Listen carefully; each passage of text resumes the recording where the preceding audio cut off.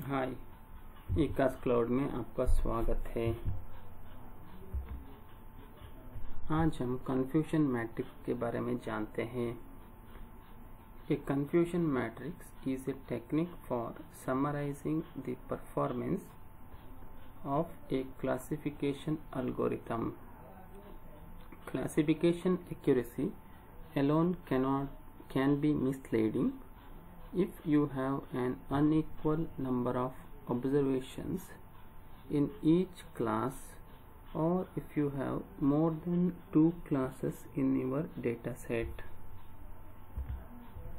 धन्यवाद ज़्यादा जानकारी के लिए www.ecascloud.com विज़िट करिए ecas cloud data science big data technology cloud computing cyber cyber security